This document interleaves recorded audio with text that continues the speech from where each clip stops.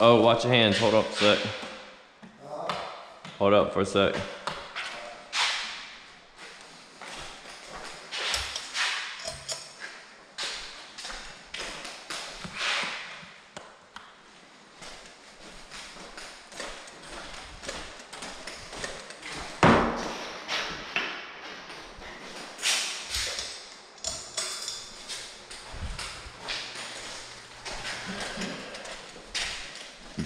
That is how you hook up power.